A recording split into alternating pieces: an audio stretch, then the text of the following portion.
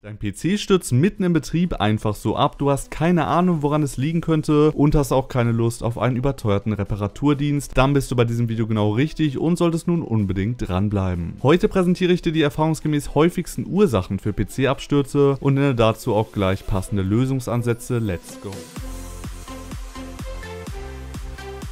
Damit dir in Zukunft lästige PC-Abstürze erspart bleiben, gilt es zunächst einmal die Fehlerquelle zu identifizieren und diese mit verschiedenen Maßnahmen zu beseitigen. Dabei sollte man immer gut organisiert vorgehen und sich drei wesentliche Fragen stellen, die letzten Endes zur Problemlösung beitragen. Erstens, mit welcher Art von Absturz habe ich es zu tun, dazu später mehr. Zweitens, seit wann besteht dieses Problem und drittens, in welchem Zusammenhang bzw. in welcher Situation stürzt mein PC ab. Mit Hilfe dieser drei Fragen lassen sich die möglichen Fehlerquellen eingrenzen und die Problemursache identifizieren passieren. Doch bevor wir im Folgenden mit den konkreten Ursachen und Problemlösungen fortfahren, hier nochmal ein wichtiger Hinweis für Nutzer eines Fertig-PC-Systems. Sollte sich euer Gesamtsystem noch innerhalb der Garantiezeit befinden, so solltet ihr den PC beim Verkäufer reklamieren und von eurem Garantieanspruch Gebrauch machen. Andernfalls könnte euer Anspruch auf Garantie verloren gehen, insofern ihr den PC selbst öffnet und auf eigene Faust nach dem Fehler sucht. Sollte sich euer Computer nicht mehr in der Garantiezeit befinden oder damals von euch selbst zusammengebaut worden sein, so könnt ihr nun mit Hilfe dieses Videos auf Fehler Fehlersuche gehen. Kurzer Disclaimer, die Sicherung von persönlichen Daten ist ratsam und beim Arbeiten mit geöffnetem PC-Gehäuse ist das System vom Strom zu trennen. Alle Handlungen erfolgen immer auf eigene Gefahr. Egal wo die genauen Ursachen für die Abstürze liegen, drei Sachen solltet ihr in jedem Fall vorher durchführen. Überprüft zunächst, ob euer Windows auf dem aktuellsten Stand ist und sämtliche Treiber, vor allem Grafiktreiber, aktuell gehalten sind. Manuell angelegte Overclocking-Profile gilt es zurückzusetzen und auch ein Virenscan solltet ihr ausführen. Wenn ihr das gemacht habt, dann habt ihr schon einige grundlegende Fehlerquellen ausgeschlossen und solltet nun wissen, dass Absturz nicht gleich Absturz ist. Jeder Nutzer definiert das Wort etwas anders und letzten Endes gibt es verschiedene Arten von PC-Abstürzen, die jeweils auf mögliche Fehlerquellen hinweisen. Erhaltet ihr mitten im Betrieb ein Blackscreen, der PC läuft aber hörbar und sichtbar weiter, so handelt es sich meist gar nicht um einen klassischen Absturz, sondern eventuell nur um einen Wackelkontakt im Kabel, fehlerhaften Grafiktreibern oder sogar um eine defekte Grafikeinheit.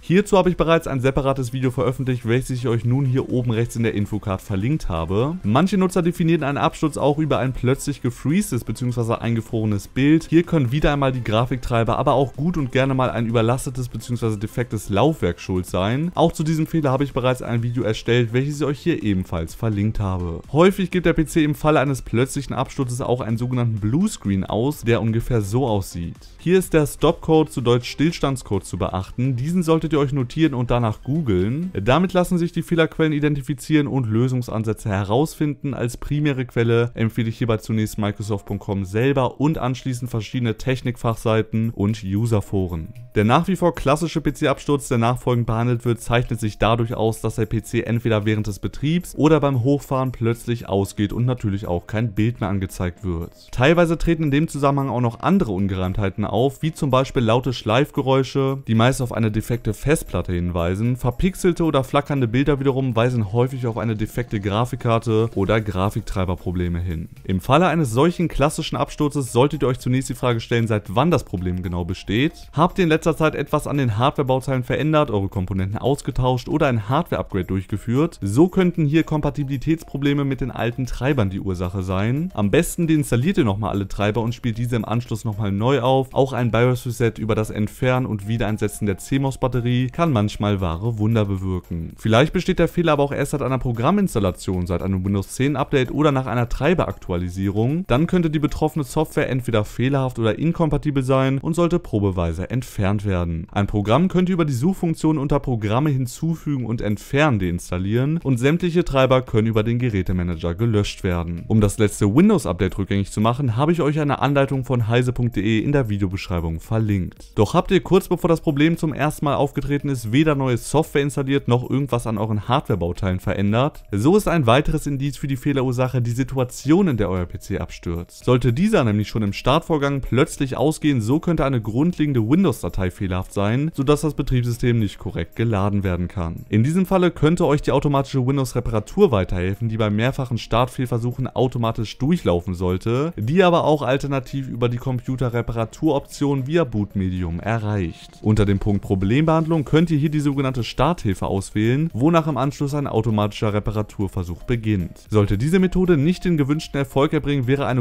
Windows-Neuinstallation immer noch eine Option. Für den Fall, dass sich euer PC-System zwar noch regulär starten lässt, dafür aber im Leerlauf ohne Verwendung aufwendiger Programme plötzlich einfach so abstürzt, kann ich euch folgende Maßnahmen empfehlen. Zuerst rate ich euch, die Auslastung der einzelnen Hardwarebauteile auszulesen, um somit eventuelle Überlastungen festzustellen. Hierfür öffnet ihr zunächst den Taskmanager und wechselt anschließend auf den Reiter Leistung. Sollte eine der Komponenten im Leerlauf schon voll ausgelastet sein, so könnte dies ein Hinweis auf die Fehlerquelle sein, bzw. auf eine überforderte Komponente.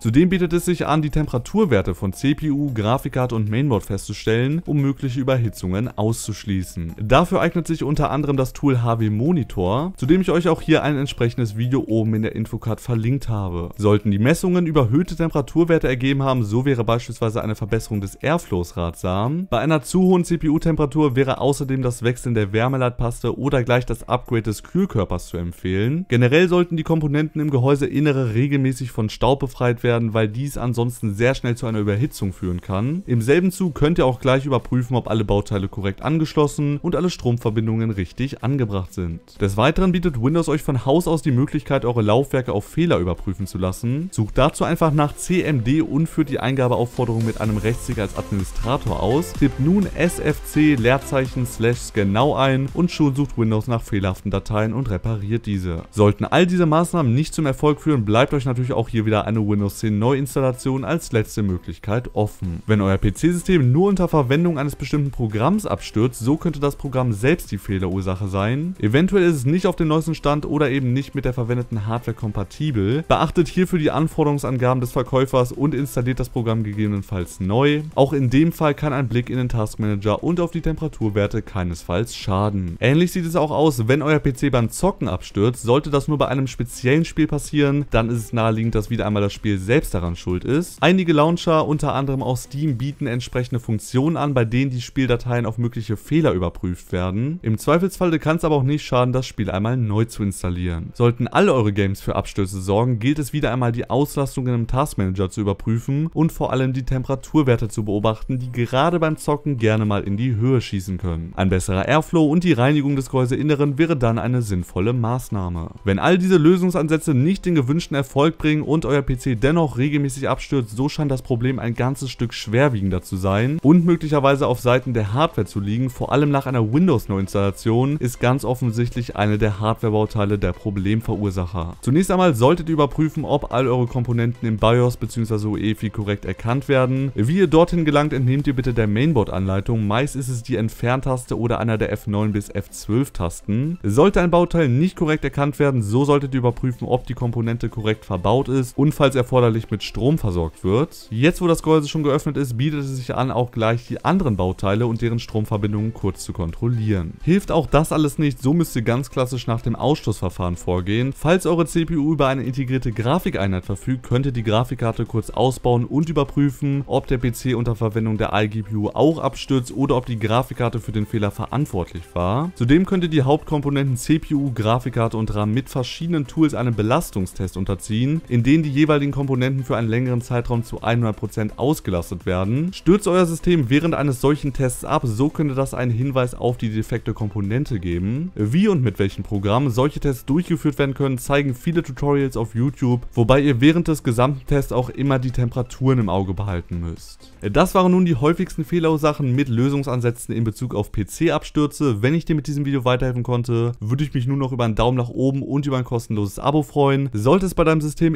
immer noch zu Abstürzen kommen, so kannst du mir gerne eine genaue Fehlerbeschreibung als Kommentar hinterlassen. An der Stelle wünsche ich euch noch einen wunderbaren Tag. Haut rein, macht's gut. Bis zum nächsten Video. Bis dahin. Ciao, ciao.